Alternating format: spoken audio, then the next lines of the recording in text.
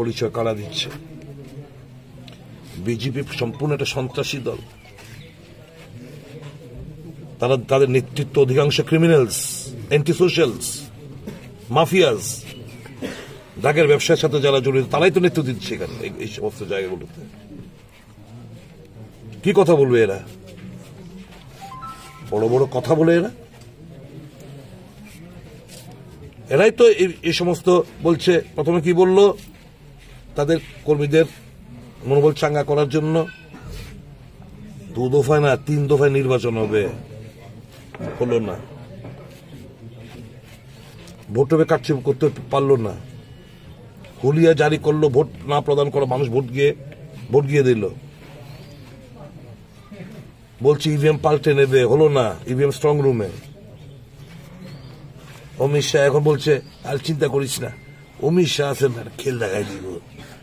মানে এই সমস্ত করে ভায়োলেন্স ইনসাইড করছে। হাতে কটা দিন দেয়ালের লিখন বোধ হয় যারা হামলা, হুজ্জুতি করছে দেয়ালের লিখনটা এরা পড়তে পারছে না। আজকে আঠাইশে মাস আজকে উনিশ শেষ।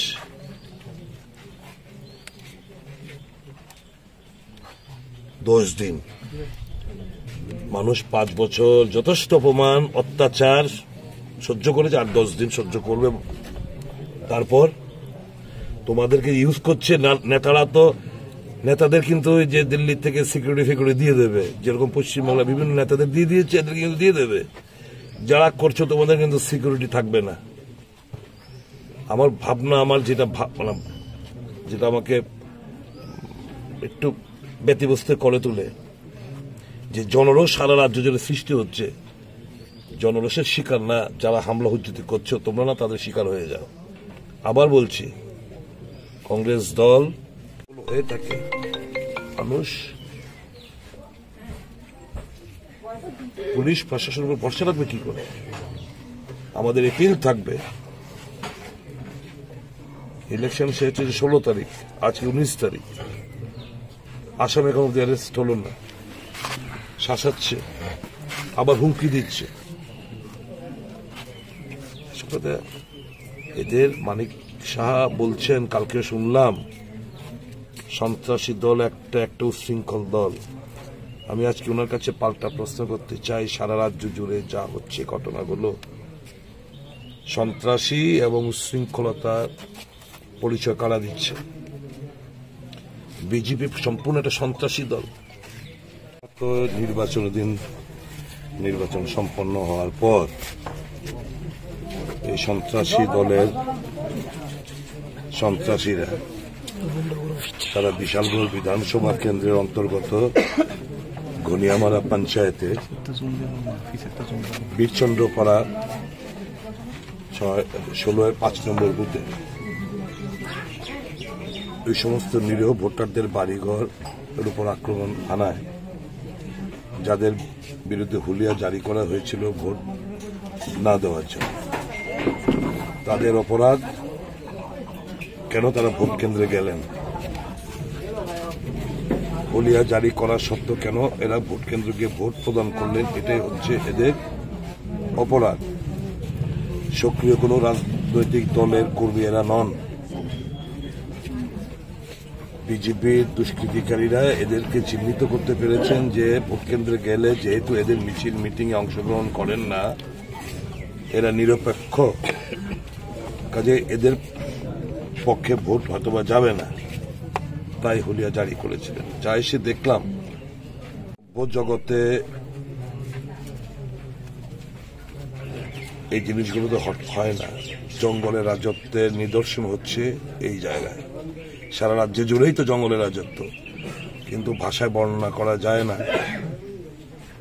ঠাকুরের আসনের উপর হামলা, বাড়িঘরের উপর হামলা, বয়োজ্যেষ্ঠদের উপর হামলা, ভাঙচুর, অটো ভাঙচুর, বাইক ভাঙচুর, স্বর্ণ লঙ্কা লোটপাট করে নিয়ে যাওয়া, এক বয়স্ক মানুষের দুটো পা ভেঙে গুড়িয়ে দেওয়া, একজন বৃদ্ধা মহিলাকে মারধর করা আরেকজন প্রচুর মারধর, লুটপাট ভাঙচুর, অটো, বাইক থেকে শুরু করে সমস্ত কিছুর এরা মানুষের খুব কষ্টার্জিত যে একটা স্বপ্ন নিয়ে বাঁচে, নিজের ঘর হবে, আস্তে আস্তে আস্তে আস্তে একটা টিভি কিনব, আস্তে আস্তে আস্তে পরবর্তী সময় একটা একটা বাইক কিনবো, কিংবা একটা অটো এটার উপরে সংসার চালায়।